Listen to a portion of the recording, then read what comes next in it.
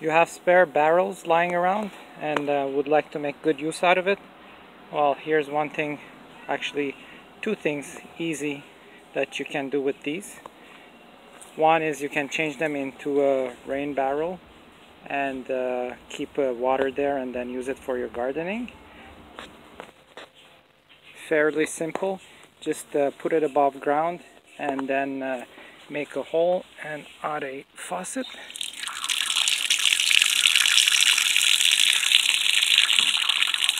And the amazing thing with this is that uh, inside the barrel you can mix your fertilizer, your, your uh, soluble fertilizer, and then you can use that to water your garden. So your vegetables are gonna be always uh, getting nutrient.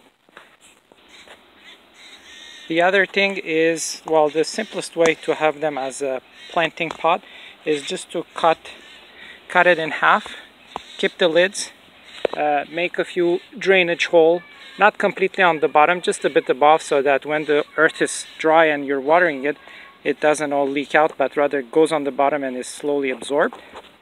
Now you don't want to fill this up completely with the soil. It will be uh, too heavy.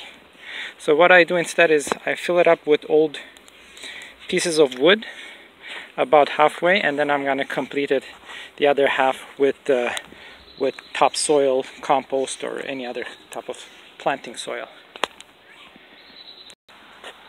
and this is what you get as a result.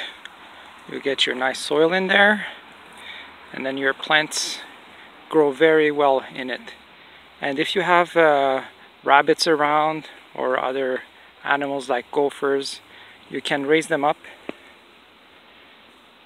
and they won't be able to uh, damage your plants.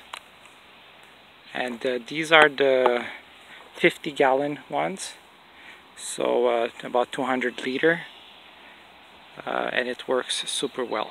Actually 55 gallon because up to here it's 50